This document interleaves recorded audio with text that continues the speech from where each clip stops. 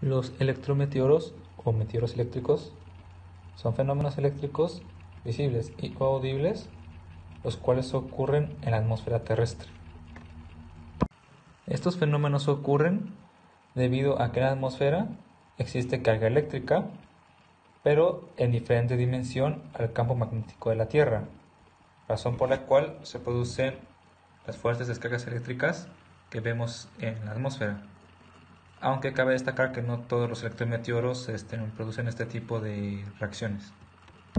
Entre los electrometeoros más destacados se encuentran el rayo, las auroras polares y el fuego de San Telmo.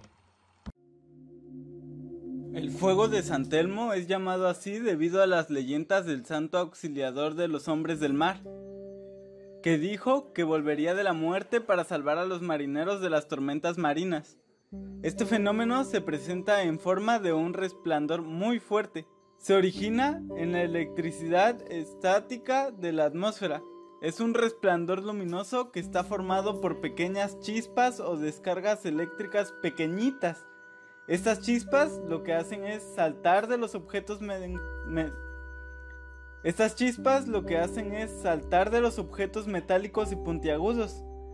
Las chispas se desprenden y estas son producidas por la carga eléctrica atmosférica que se ioniza dentro del campo eléctrico que origina las tormentas.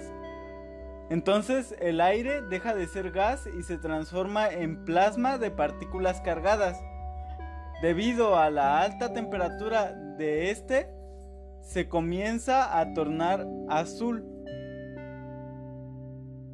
De manera sencilla y resumida, se acumulan cargas negativas en la nube y cargas positivas en las puntas de los barcos. Y estas cargas se atraen hasta que llega un punto en donde se aumenta la temperatura y se producen descargas eléctricas. Quien describió esto fue Benjamin Franklin. El fenómeno fue descrito y mostró que los objetos puntiagudos acumulan cargas eléctricas que se quedan alrededor de ellos. Estas cargas atraen la electricidad entre la nube y la tierra cuando está por llegar una tormenta. La aurora polar este es un fenómeno que se presenta como un brillo durante la noche. Cabe destacar que cambia su nombre de acuerdo a el lugar donde se produce. Si se produce, por ejemplo, en el hemisferio sur, se conoce como aurora austral. Y si este lo hace en el hemisferio norte, entonces se conoce como aurora boreal.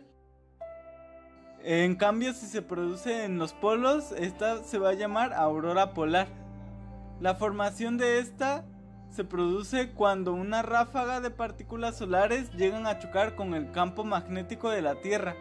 Las radiaciones solares se llegan y se desplazan por la magnetosfera que es donde se encuentra el campo magnético. Entonces esta energía se almacena, ya que las partículas cargadas pueden quedar atrapadas y viajan a lo largo del campo magnético hasta que llega a un punto en el cual esas partículas colisionan con los átomos y moléculas de la atmósfera terrestre y viajan en forma de radiaciones electromagnéticas sobre la ionosfera, que es la parte de la atmósfera que está ionizada de forma permanente debido a la radiación solar. Esta se sitúa a 150 kilómetros de la Tierra. El viento solar es tan fuerte que deforma la magnetosfera esto provoca que en lugar de verse la luz de forma lineal y uniforme, esta se vea oscilante en el suelo. Los colores y formas. Los colores de la aurora polar dependen de la especie atómica o molecular que excitan las partículas del viento solar. Por ejemplo, cuando el viento solar influye sobre los átomos de oxígeno. Por ejemplo, cuando el viento solar influye sobre los átomos de oxígeno, se produce una longitud de onda que puede ir desde los 557.7 nanómetros, dando como resultado colores verdes o amarillos, a los 630 nanómetros, que genera el color rojo y morado. Si el viento solar influye en el nitrógeno, entonces los electrones de la capa más externa de los átomos de nitrógeno se desligan y producen una luz azulada. Además, los átomos de nitrógeno causan en su mayoría los bordes más bajos de las auroras. Los rayos se pueden definir como descargas electrostáticas que ocurren en la atmósfera entre dos centros con cargas distintas. Estos pueden producirse dentro de la nube, entre varias nubes o entre una nube y el suelo. Cuando hablamos de la formación de los rayos se entra en un debate, ya que los científicos siguen discutiendo cómo es que se inicia la descarga eléctrica del rayo. Los científicos han estudiado las causas principales. Estas pueden ser el viento, la humedad, la presión e incluso los efectos del viento solar. Se piensa que el hielo juega un papel muy importante en el desarrollo de los rayos, ya que se piensa que este proporciona una separación de las cargas positivas y negativas dentro de la nube.